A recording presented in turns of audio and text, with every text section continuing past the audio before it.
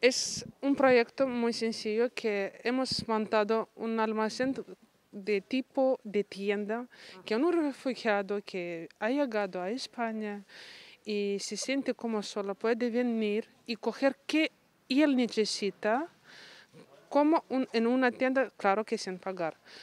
Me cuenta que han salido como eran en casa y le ha cogido para salvar su vida y casi así ha llegado aquí.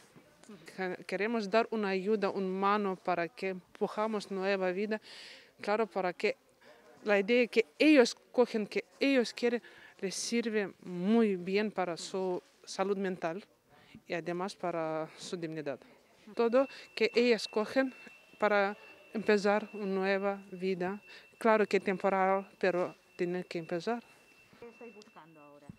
Pues nada, ahora la familia ha crecido y somos tres más eh, y hemos venido pues a coger eh, cosas, material de higiene, personal, pues jabones y siendo que esta es una iniciativa privada y de gente que lo ha hecho con el corazón, pues nada, venimos a, a pues a fácil, un poco facilitarles la vida, porque la casa es la que hay y, y como no se sabe cuánto tiempo va a durar, Claro. pues así para estar un poco mejor.